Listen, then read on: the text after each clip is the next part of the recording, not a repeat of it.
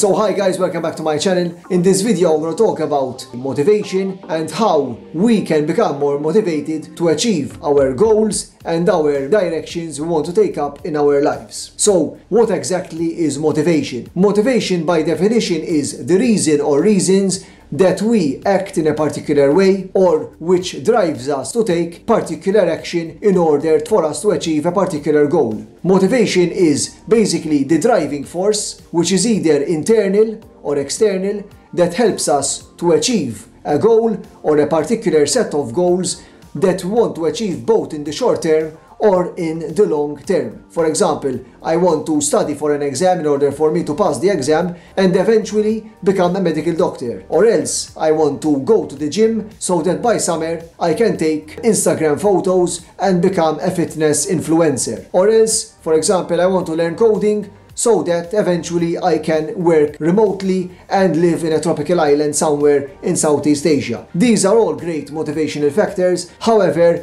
most of us fail to remain motivated although we have or want to achieve that goal so damn strongly. We really want, for example, to go on holiday to New York or want to, for example, learn a new language and speak Japanese fluently. However, when we see all those kanjis or all those grammar points, we get demotivated and we start procrastinating and block our motivational drive away. We literally shove the motivation down the toilet and basically just feed our procrastination and continue doing something else. We either, for example, switch to gaming, watch a movie, or else just become a couch potato and let the hours pass and just scroll on our mobile phones indefinitely until we sleep.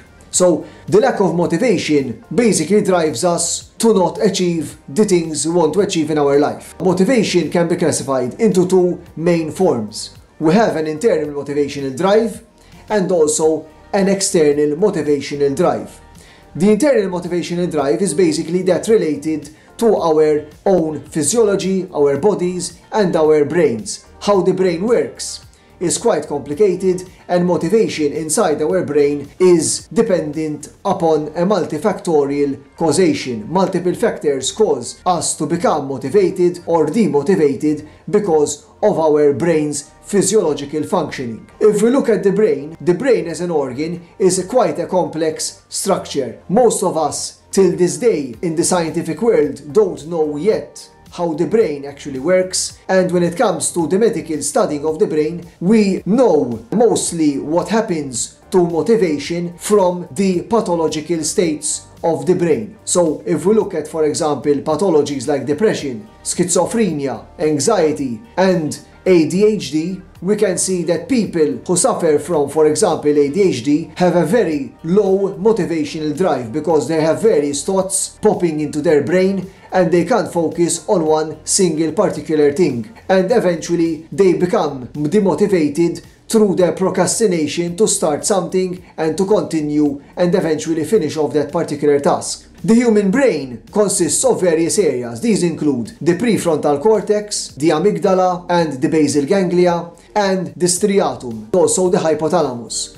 These areas affect our motivational drive in various ways. The hypothalamus, which is part of the deep areas of the brain, or as is known as the old brain, basically controls our basic human needs. It controls our want to eat, our want to drink fluids, our want to seek out shelter, protection, reproduction, and also pleasure. So the hypothalamus basically deals with maintaining our body in a hemostasis type of standard. And it keeps us basically in a safe and physiologically stable place. After the hypothalamus, we also have the basal ganglia, the basal ganglia which are mostly related to pleasure and to reward systems in the brain and they're also related for example to anxiety and emotionality. Therefore the basal ganglia, for example the amygdala deals with mostly emotional response towards a particular behavior.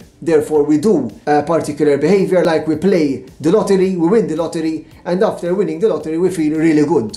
Or else you sit for an exam, you're anxious, you pass the exam, and by passing the exam, you get reinforcement, and that makes you feel really emotionally satisfied. And the same thing applies to work. When we go to work and we initially don't want to wake up in the morning and go to work, we force ourselves usually to walk into the job, do our job, but as the time progresses and as we perform task after task, we eventually get a motivation from the actions and the tasks we are actually performing by the positive reinforcement we are obtaining in our minds. This positive reinforcement eventually makes us more motivated in order for us to keep on going to work and achieving a salary. Another area of the brain which is involved in motivation is the prefrontal cortex.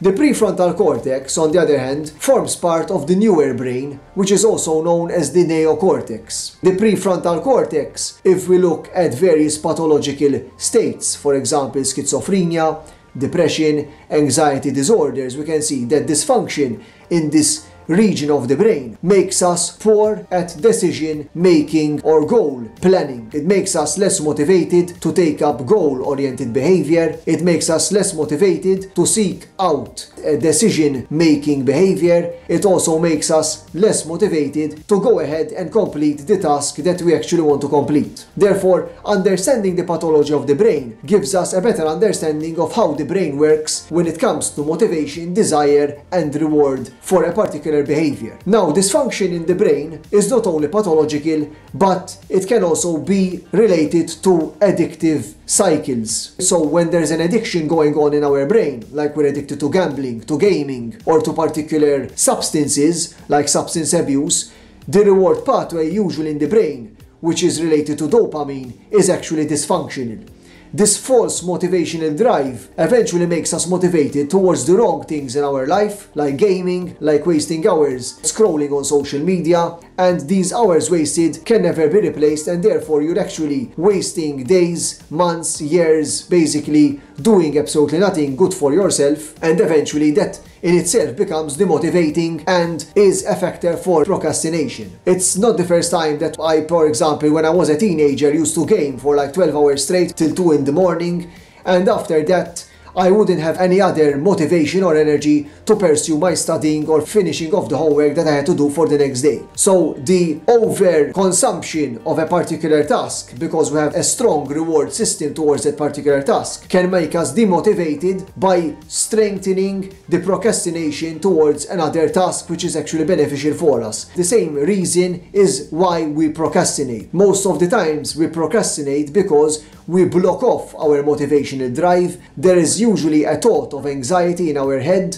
or a perceived future negative thought about us failing the exam or else we're not going to achieve our fluency in the language we want to learn, or else we're not going to, for example, obtain our slim body, and therefore we just don't go altogether to the gym, we don't study, and we don't even, for example, apply for the job we want to do. And we stay basically stuck in the same place and in the same position that we are in. And this basically eventually also leads to demotivation. Another thing we need to understand when it comes to motivation is that of personality. Personality and the personality traits play a huge and major role in how we perceive reality, how we interact with reality, and how we actually become motivated when it comes to personalities, personality is basically subdivided into five different personality traits, and each personality trait has an effect mostly on our motivational drive. For example, people who are extroverts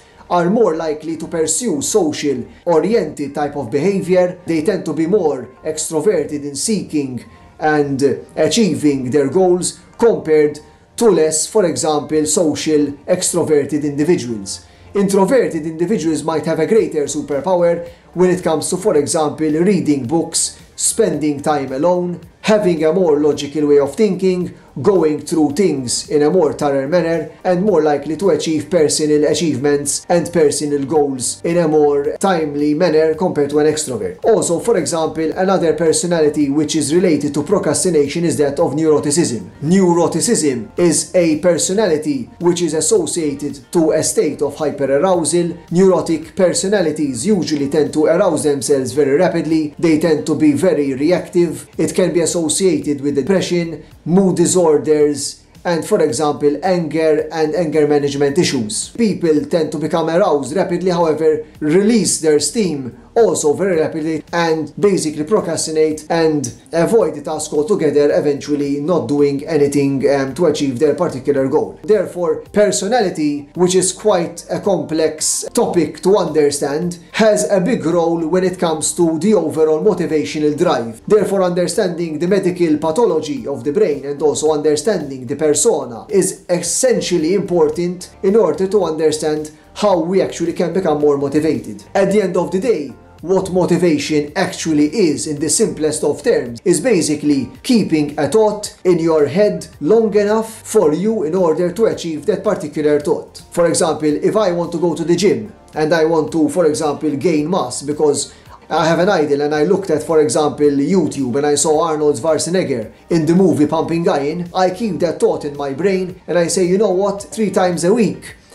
I'm going to go to the gym I'm going to lift heavier, I'm going to progress better and better, and I keep that thought at the back of my brain, and whilst I'm taking action in pursuing my goal, I become eventually more motivated and more motivated at continuing down the road of achieving that particular goal. The same applies to medicine and, for example, becoming a doctor. When studying for exams and when, for example, studying to become a doctor, becoming a doctor takes years. The course is usually five years or six years and it takes year after year after year of exams and after that eventually you graduate and become a medical doctor. However, the road is long, there is a lot of work to be done, a lot of studying, a lot of sleepless nights. Sometimes I did not sleep two days in a row for me to, for example, sit my anatomy exams or my physiology exams. I still remember going down to the anatomy lab, you know, and uh, looking at bodies on the weekend. So you have to sacrifice quite a lot and you have to maintain a, a high level of discipline in order to achieve that particular goal. So the persistence of the thought or of the goal in our mind is essentially the most important factor for us to be motivated and also to stay motivated. Now, in order for us to do this, we need a sense of discipline. For example, now that I'm studying Japanese, the biggest problem with me studying the language is that of the kanji. The kanji is one of the hardest aspects of the Japanese language and also the grammar. And for me to stay motivated to study Japanese, I basically think of what Tokyo or Kyoto or Osaka can be like. I keep myself focused on the future goals of me going back to Kyoto or to Tokyo and basically this helps me to basically study every single day around one or two hours a day and eventually become more fluent in the language and hopefully in the future pass my JLPT exam, which I will be hopefully taking in July. Another factor which one has to keep in mind in order to maintain motivation is that of taking action. Most of us Wait for an internal feeling or motivational drive in order to take action. When in reality, in order for us to become motivated and to achieve our goals, the first thing we have to do to become motivated is that of taking action in the first place. When we take action in the first place, for example, you want to go to a party or you want to go abroad and you want to go study a new language or you want to learn code, the greatest way to be motivated is to open up your laptop, literally get a tutorial, build something and start literally typing away. The action in itself drives motivation because from one line of code you will eventually write 25 lines of code. And after you built your mini program, that motivational drive helps you achieve a better goal-oriented behavior which eventually reinforces over time and eventually you will be able to achieve your task. So action and the pursuit of action is essentially the most important factor when achieving motivation rather than motivation itself. And also for us to remain motivated, it's important for us to avoid burnout. Most of us, especially in the medical field, work extremely long hours, we sacrifice weekends, we sacrifice family reunions, friends, relationships in order for us to achieve Our future careers. However, one must avoid burnout because burnout is the main killer of motivational drive. In order for us to do this, we need to practice self-care, like mental health practices. We need to be more mindful about how we interact with the world around us. We need to sleep better. We need to eat better And also, we need to exercise more. Most of us usually are sitting down long hours, we're not really moving much, and this lack of movement, the bad diet, the lack of sleep, the over caffeination of, of our brains is leading us basically to more anxiety, higher cortisol, and this eventually makes us even more demotivated and less able to continue uh, studying or pursuing that particular goal that we want to achieve. So my final take home message guys is importantly always look at your basic needs first, prioritize your basic needs, take care of your health, sleep better, eat better, remain hydrated, take caffeine if needed but don't take too much and find some time to go outside, exercise and socialize. Everything you've done in a balanced way can keep you motivated motivated and also help you achieve your goals. I hope this video was interesting guys. I hope I gave you some important tips. I'm trying to make more uh, videos eventually for my YouTube channel. Thanks for watching as always and subscribe to my channel and see you in the next one.